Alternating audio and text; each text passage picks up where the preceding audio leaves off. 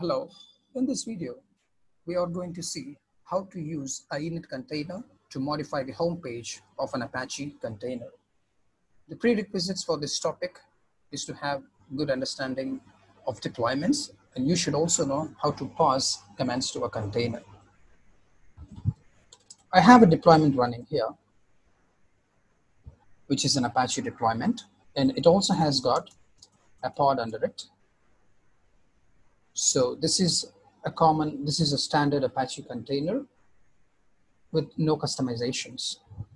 We can also look the manifest of it with the file that I used before. So this is going to be a straightforward deployment with matched labels and the container spec has Apache pulling HTTPD image from Docker Hub. If we have to use the port forward feature of kubectl by saying kubectl port forward the name of the pod. And if I use 8080 and forward it to the container port 80, I should be able to see the home page of Apache if I go ahead and click on the web preview op option of Google Cloud here. So if I click web preview, and then if I say preview on port 8080, if I click on it, I should be seeing the home page here. Let me just refresh it.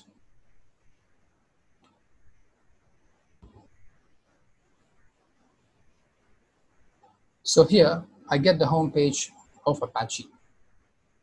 So let's see where Apache is actually fetching this information from.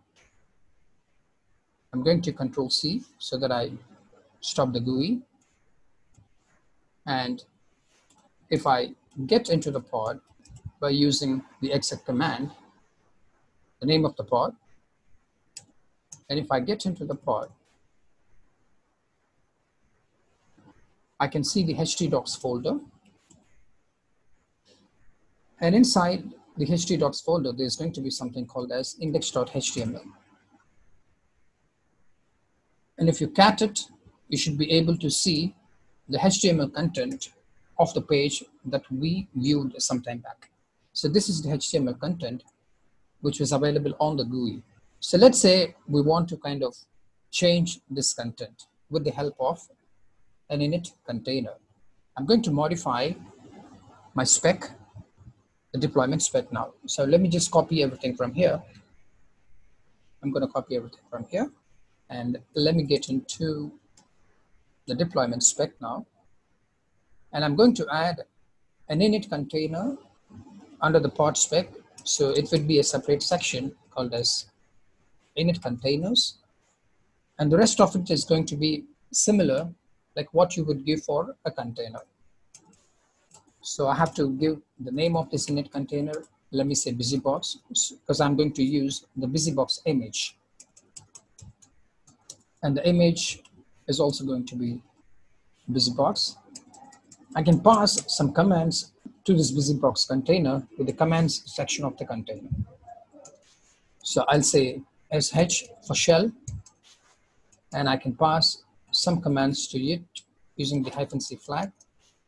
And now I'm going to copy paste what I typed from there, but I'll be using the echo command and paste this one and I will redirect this to a temporary file in the busybox container. Let's say temp slash index.html. So this temp folder resides inside the busybox container as soon as we do this. But since we are looking to modify the content, I'm going to change it works to something else like hello world. Fine.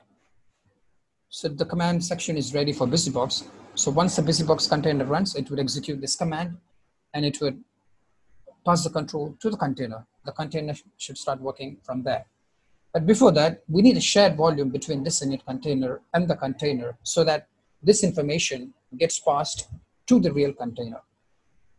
And I'm going to use a volume here under the pod spec. So I'm going to say volumes, and I'm going to define the volume let's say this volume is ed for empty directory. You can put any name you want. And I'm going to say empty directory and that's it.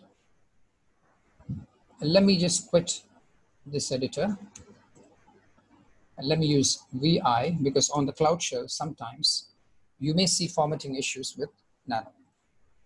So I'm going to use I for insert mode. Let me just scroll down. Since I have defined a volume, I need to actually mount it in the container. So I'm going to mount it first in the init container by calling the volume mounts section. And inside the volume mount section, I need to say the name, which has to match with what I defined in the pod spec here. So I have given ed, then I also have to give ed here. And I'm going to say the mount path. The mount path has to be this one because we are going to put this in this directory. So I can say slash temp as the mount path, slash temp. Okay. So what happened so far? We are going to launch an init container. We are going to pass it a command and that command, that command would create a file. That command is going to put some content into a file called as index.html, which resides inside the temp directory. Now we need to share this volume. Once the init container comes up, it, it starts its execution and when it stops, this volume has to go to the container. So we need to share the same volume with the container, the Apache container. So we're gonna say volume mounts here inside the Apache container section. And we're gonna call the same volume here. Name is ed, but the mount path has to be different because we know where the mount path is. We know where the home page is in Apache. We saw that before. So it has to be slash user, the complete path, local, Apache 2, and then htdocs. And that's it. So the index.html file is going to come from the busybox container. It's going to get into the volume, and then it gets injected into the htdocs directory of Apache. So let's save this now. And let's go ahead and apply this because this is the same configuration which I used for launching the first container. So I can do apply instead of creating it. There is some problem. Let me just go ahead and see what the problem is.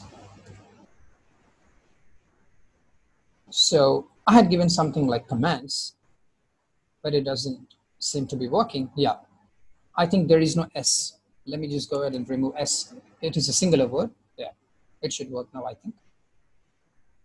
Let me just save it now. The same command, I'm gonna apply it. Okay, so it's configured. Let's see if we have a new pod or not. So the old pod is terminating and we already have a new pod and which is running in its age is five seconds. We can now port forward this pod, kubectl port forward this pod, the name of this pod, and say 8080 colon 80. So as usual, you'll go to this web preview section, and then you can click on the preview on port 880. I already have this open on a different tab, so let me switch on, switch over to the other tab. And let me just refresh it now.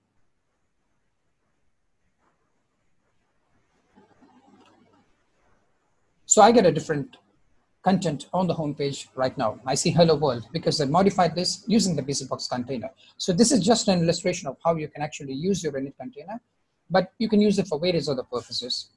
And BusyBox is one of the commonly used init containers. All right, so that's the end of this video. Thank you for watching and hope it was helpful.